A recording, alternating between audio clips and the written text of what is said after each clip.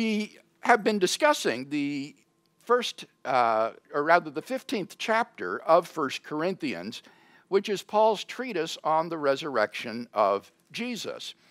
And we come now to discussing the structure and the content of the tradition that Paul handed on. Let's read again this tradition that Paul himself uh, received from those in Christ before him, and which he then passed on to his converts in Corinth. 1 Corinthians 15 3 to 5. For I delivered to you as of first importance what I also received.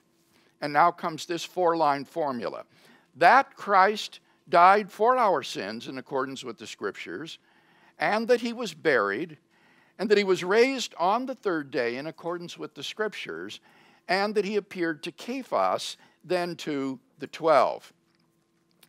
Now, notice that this formula has a structure of four lines which are parallel to each other. The first and third lines are parallel, the second and fourth lines are parallel to each other. Nevertheless, each of the lines begins with, uh, in the Greek, the words kai hoti.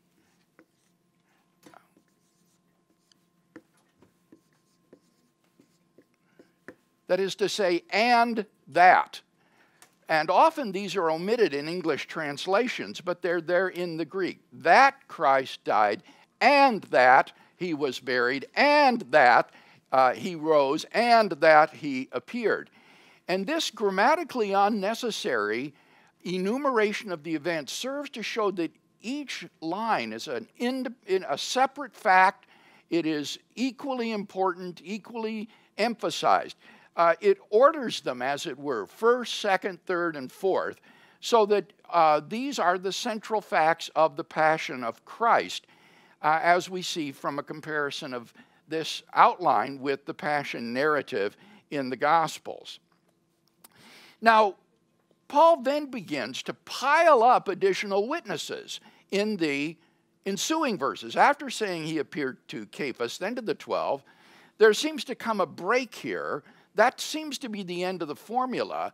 But then Paul adds more witnesses that he's aware of. Then, he says, he appeared to more than 500 brethren at one time, most of whom are still alive, though some have fallen asleep. Then he appeared to James, then to all the apostles. Last of all, as to one untimely born, he appeared also to me.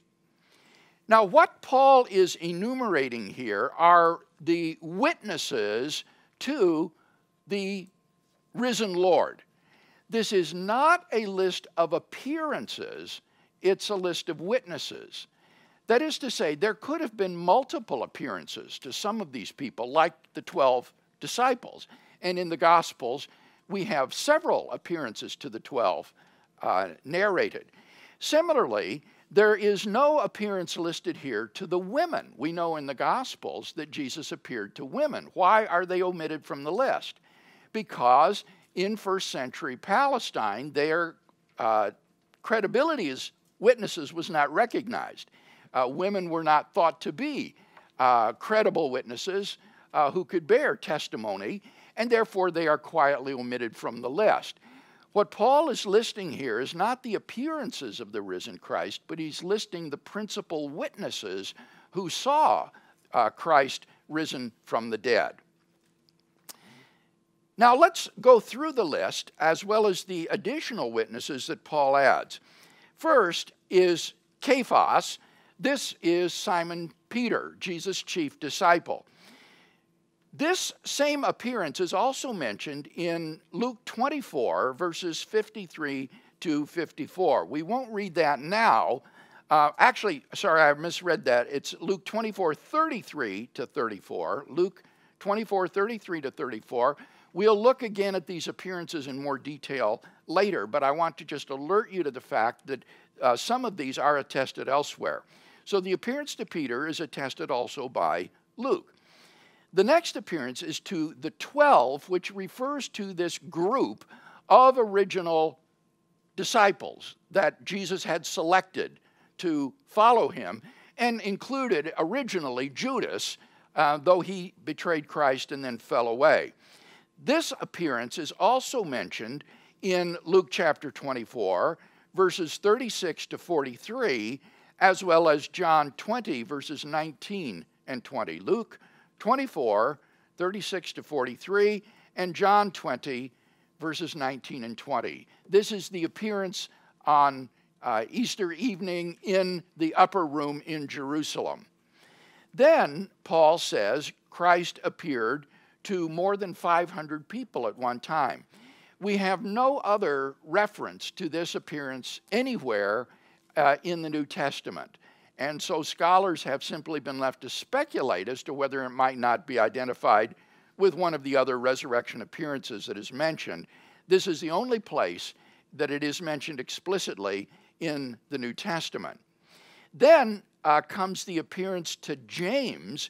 This is also unique uh, to Paul's letter. Uh, it is not mentioned anywhere else in the New Testament. Um, but you'll recall that when Paul visited Jerusalem uh, in AD uh, 36, uh, three years after his conversion on the Damascus Road, he said that the two apostles that he spoke with were Peter and James, the Lord's brother. And so this is doubtless a reference to uh, Jesus' younger brother, James. We know from the Gospels that James was not a follower of Christ during Jesus' lifetime. Um, John chapter um, 7, verses 1 to 10, relates a very ugly story of how Jesus' younger brothers tried to goad him into a death trap by getting him to go up to Jerusalem when they knew that the authorities were seeking Jesus' death. Uh, and John, uh, as well as Mark, says that none of his brothers believed in him. And yet, when you read the book of Acts, from Acts chapter 1 and verse 14 uh, on through the rest of the narrative, James is a believer. He is uh, one of the three principal pillars of the Jerusalem church, and eventually he becomes the sole elder and sole leader of the mother church in Jerusalem. And so this appearance to James that is mentioned by Paul seems to have been the pivotal event in Jesus' younger brother's life that changed him from a skeptic and unbeliever to being an ardent follower of Jesus. Then Paul says he appeared to all the apostles. This is probably not a reference to the 12, since they've been mentioned already, but to a wider group of uh, missionaries. Apostle means a person who is sent out and could include people, for example, like Barnabas uh, as well as the original 12.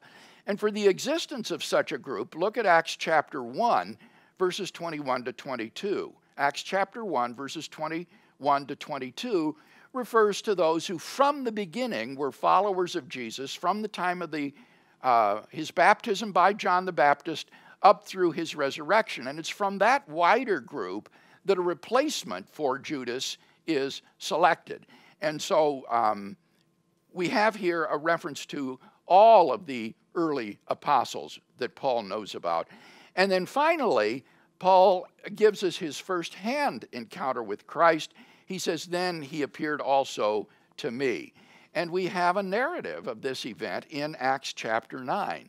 In Acts 9, 1 to 19, we have an account of Jesus' appearance to Paul uh, on the road to Damascus. And this is then repeated twice more in the book of Acts.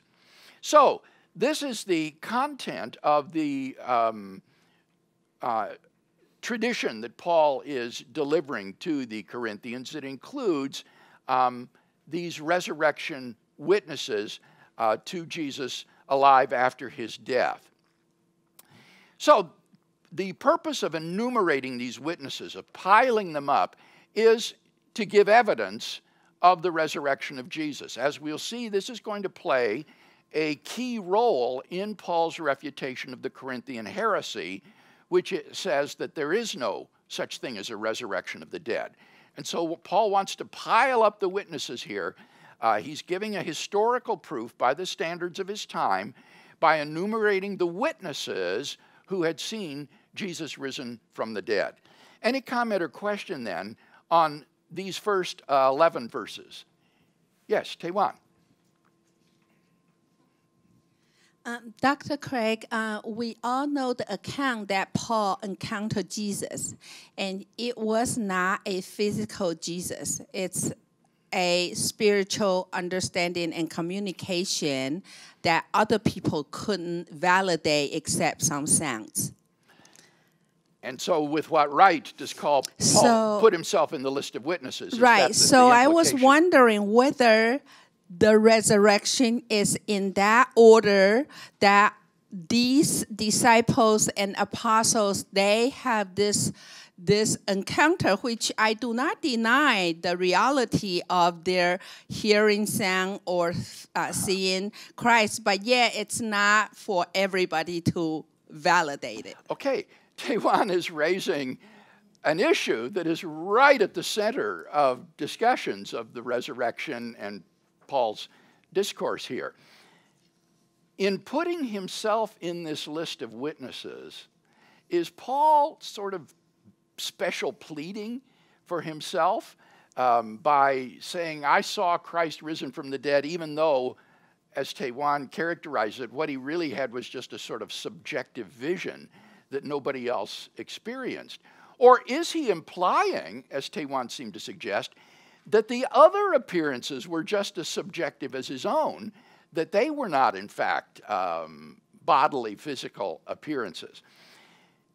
Well, we'll talk about this more when we get to the question of the nature of the resurrection body, which is the second part of this chapter. But let me say, by way of preview, when you read the Corinthian correspondence, there were people in Corinth uh, who had been influenced by these sort of super apostles, as Paul calls them, who denied Paul's apostleship.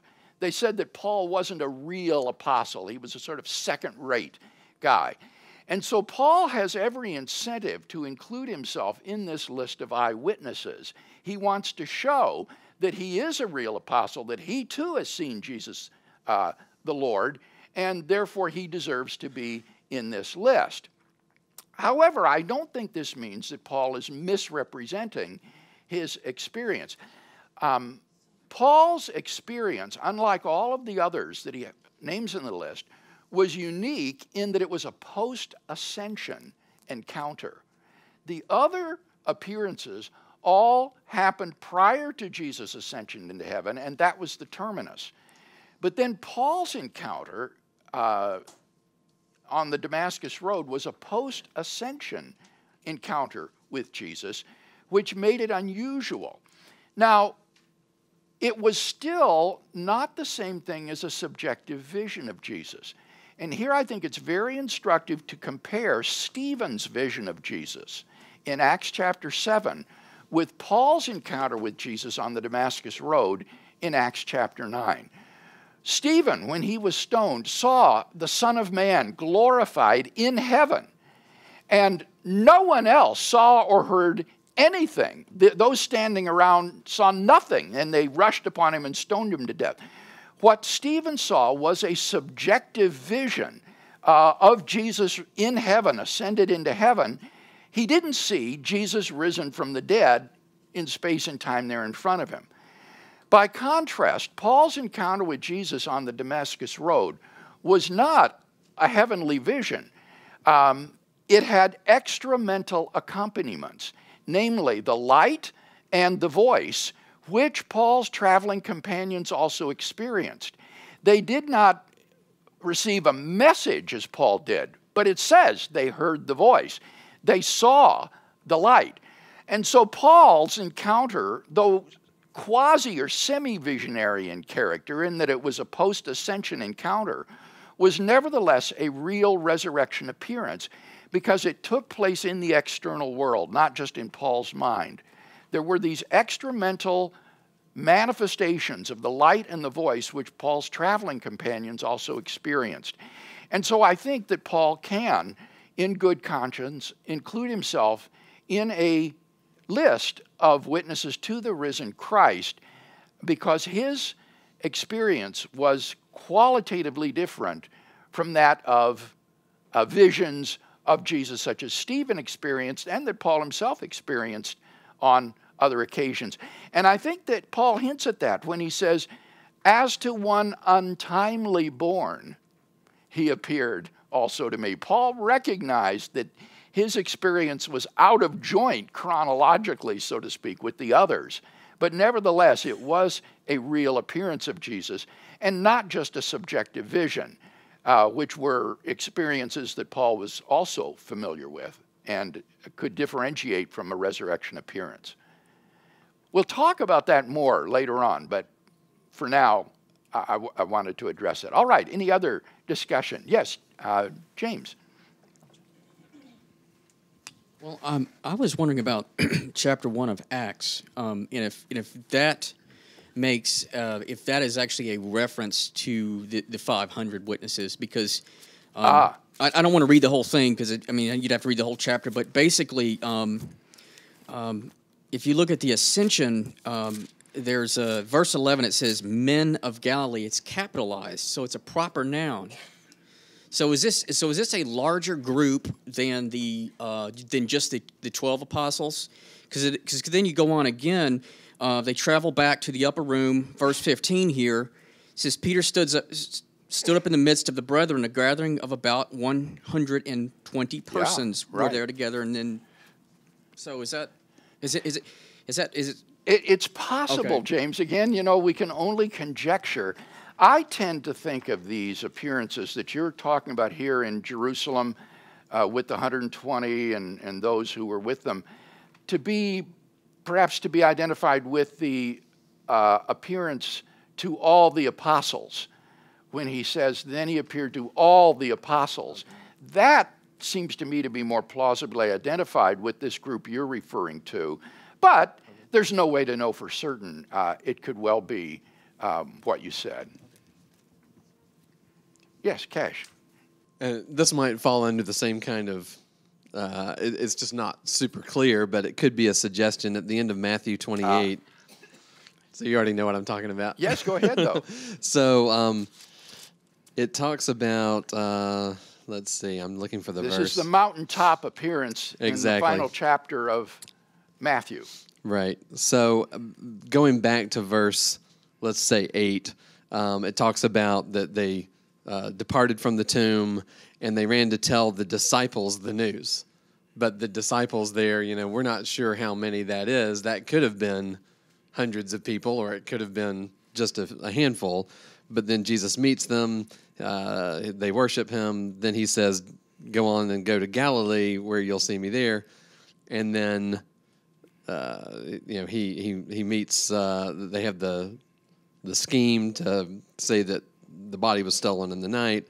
And then they travel to the to Galilee in verse 16 to the mountain where Jesus had directed them. When they saw him, they worshipped, and then he he gives the Great Commission.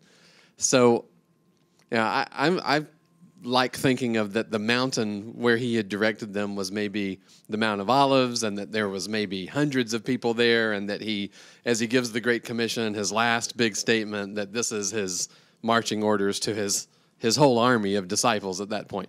But of course, it, it's not clear. It doesn't say. Not clear, but certainly possible. Um, it was in Galilee that 5,000 people gathered to hear Jesus preach. You remember on the hills, and he fed the 5,000. And uh, in Mark, 4,000 men, plus women and children, had gathered to hear Jesus. So, is it possible that this could have been a gathering of 500 disciples? Interestingly enough, is the phrase uh, that you didn't mention in verse 17 uh, they worshiped him, but some doubted. Now, that wouldn't seem appropriate for the 12, would it? If they, they were the only ones that were there, could they have been part of this wider group that uh, had gathered? So, I, again, I think that's a real possibility. Now we turn to the uh, second half of this first part of the chapter on Christ's resurrection as evidence of our resurrection. Uh, and this is in verses 12 to 34. So let's read these verses uh, together 1 Corinthians 15 and verses 12 to 34.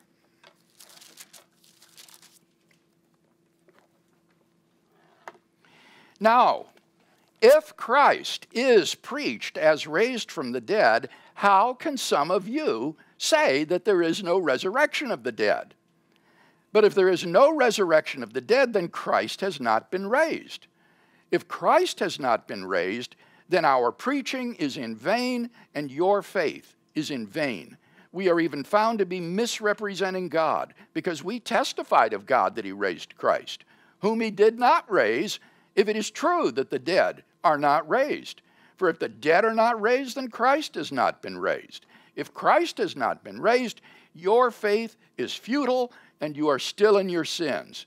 Then those also who have fallen asleep in Christ have perished. If for this life only we have hoped in Christ, we are of all men most to be pitied. But, in fact, Christ has been raised from the dead, the first fruits of those who have fallen asleep. For as by a man came death, by a man has come also the resurrection of the dead. For as in Adam all die, so in Christ shall all be made alive. But each in his own order Christ, the first fruits, then at his coming, those who belong to Christ. Then comes the end, when he delivers the kingdom to God the Father after destroying every rule and authority and power for he must reign until he has put all his enemies under his feet. The last enemy to be destroyed is death. And then quoting the Psalms here, for God has put all things in subjection under his feet, end quote. But when it says all things are put in subjection under him, it is plain that he is accepted who put all things under him.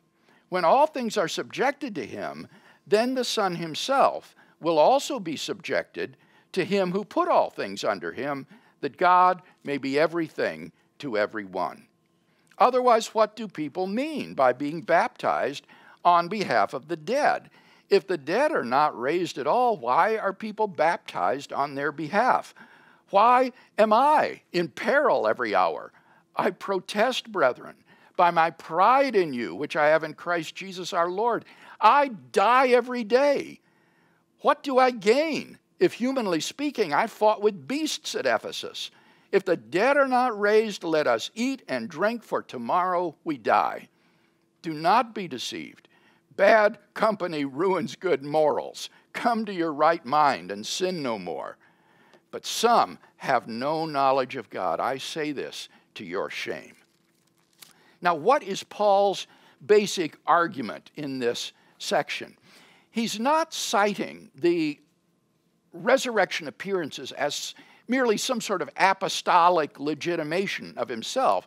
Rather, Paul is presenting an argument here uh, against the Corinthian heresy. And it's basically a three step argument. It goes like this Premise one if the dead are not raised,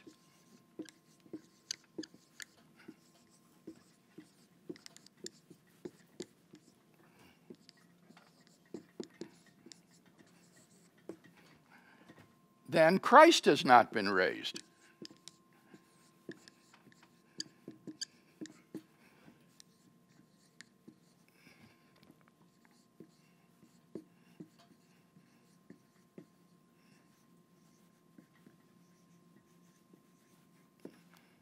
If the dead are not raised, then Christ has not been raised. But, premise two, Christ has been raised.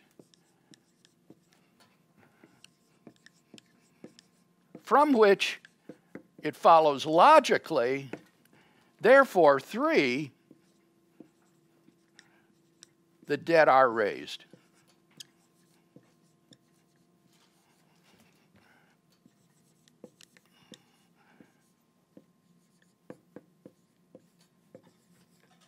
So, this is a wonderful example in Paul's letters of the use of a simple logical syllogism.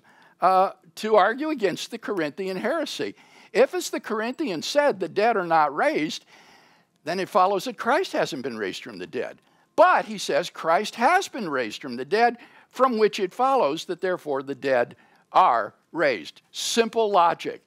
And the citation of the witnesses to the um, appearances of Christ constitutes the, the evidence for, whoops, for premise two. That's why Paul lists the witnesses, keeps piling them up, because he wants to show that this second premise is true. And this premise uh, appears in verse 20. So verses 12 and 13 says, If Christ is preached as raised from the dead, how can some of you say there is no resurrection of the dead? But if there is no resurrection of the dead, then Christ has not been raised. That's premise one. Then premise two is in verse 20, but in fact, Christ has been raised from the dead, from which it follows, therefore, the dead are raised. The Corinthian heretics are in error. So, what Paul is doing in 1 Corinthians 15 is refuting the Corinthian heresy by means of the evidence for Jesus' resurrection, uh, presenting a simple logical argument. Now, in the course of this argument, he also explores what consequences there would be if Christ has not been raised. And these are mentioned in verses 13 to 19 and verses 29 and 32. In 13 to 19, he says that if Christ has not been raised, then your faith is in vain, our preaching is in vain. We apostles are even found to be misrepresenting God, uh, lying about God because we've said he raised Jesus from the dead. Um, and, and also, then he says, those who have fallen asleep in Christ have just ceased to exist. There's no hope of ever seeing your loved ones again. Um, they're, they're dead and gone. And then in verses um, 29 to 32, uh, he talks about this peculiar practice. We, again, we don't know what was going on in Corinth, people being baptized on behalf of the dead, but he points out that practice doesn't make any sense if the dead aren't raised.